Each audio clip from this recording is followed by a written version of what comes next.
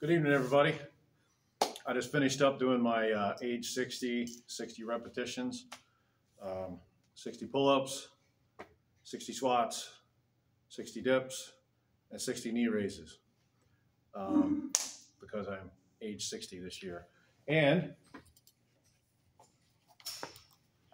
I had to move my camera to get a little better angle with these new bright lights they have in the gym.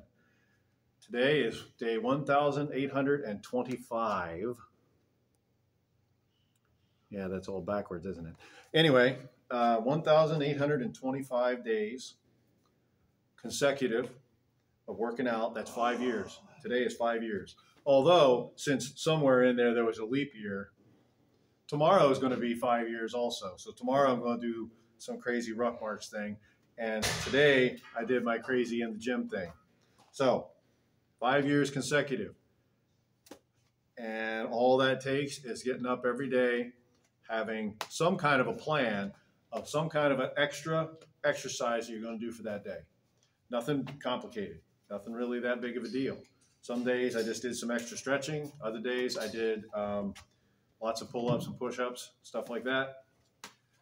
What you got to do is you got to get out there and do it. And that's the thing. And that's what I'm here for, to provide motivation. So subscribe to my YouTube page down below, and uh, we'll see you later. Take care, everybody. Have a good week.